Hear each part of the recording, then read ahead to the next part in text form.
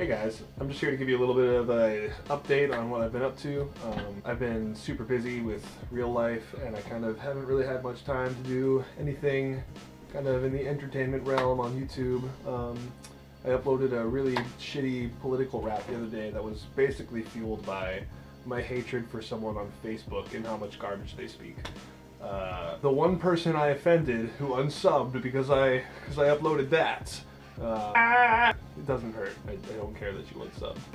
so yeah, uh, recently I've come into some more time, and I've also kind of made a couple agreements with a few people. Um, Minamipo, uh, Game Leap. Um, I'm going to be doing a little bit of voice acting for a few people. Uh, I don't know how that's kind of going to pan out as of yet, but it's something that's kind of interesting to me.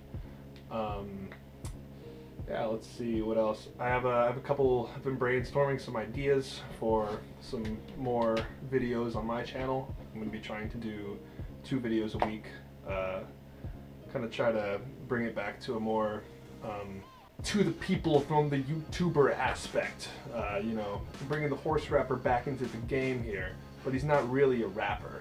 He's more of like uh, it's like Jim Carrey. I'm gonna be just like just like Jim Carrey yeah, anyway, that's just kind of what's going on in my life. Um, I'm going to be trying to dedicate more time to the Dota 2 scene, kind of grow my channel, help grow other people's channels. Um, hopefully I can, you know, make something out of it. I've kind of decided that's the path I want to go. So if you want to help me out, you can leave a like, subscribe, comment down in the video. Go check out my other shit. Maybe tell one of your friends that, uh, you know, the horse rapper exists. I'm not, I'm not begging you. Uh, I'm kind of begging you if you could. I would I would like that. Thanks. Okay. Uh, I'm gonna go. Um, I got I got shit to do.